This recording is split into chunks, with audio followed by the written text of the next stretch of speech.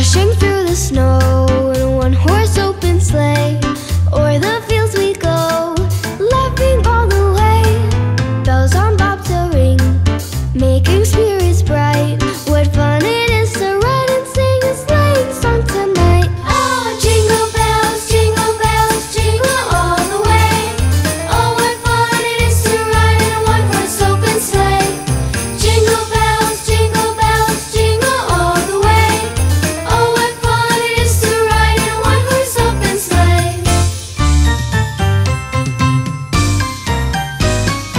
Day or two ago, I thought I'd take a ride. Soon Miss Fanny Bright was seated by my side. The horse was lean and lank, misfortune seemed his lot. He got into